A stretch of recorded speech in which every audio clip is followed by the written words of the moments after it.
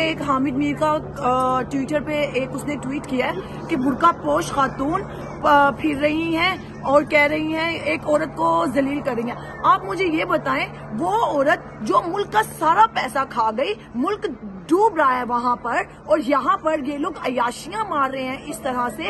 इस तरह से सबसे महँगी जगह पर जाकर कोक्स पी रही हैं और जिनको जरा भी पड़ा दो दो हज़ार पाकिस्तान की आवाम को उनपे एहसान कर कर दे रही है, उन्हीं के टैक्स का पैसा यहाँ पे अयाशियाँ मार रही है। तो ये कैसे पाकिस्तान की आवाम से बच सकते हैं? आप लोग क्यों नहीं समझते इस चीज़ को?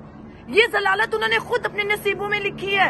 क्यों हमारे मुल्क को तबाह करने के लिए ऐसे दबा कर कर रख दिया और खुद लोग यहाँ पे याशियाँ मारते फिर रहे हैं। एक हफ़्ते में, दस दिन के अंदर ये दूसरा टूर है इसका। अपने वो सत्तर की काबीना को लेकर यहाँ पर आया हुआ है। दूसरा टूर यूके का।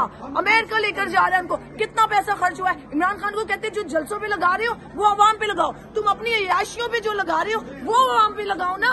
क्यों नहीं हम लोग इनसे पूछेंगे? हमारा टैक्स खा रहे हैं। हमारा हक इन्होंने लिया है। हमारा हक छीना है इन्होंने।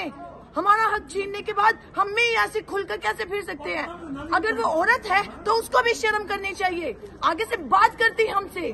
बात नहीं कर रही है। आगे से और हंस हंस के हमें दिखा रही है। यार क्या हमारा खाकर और हमें ही तुम लोग शेर बन बन के दिखाते हो और फिर ये ये सहाफी, ये लफाफे कहेंगे कि हमें शर्म आनी चाहिए?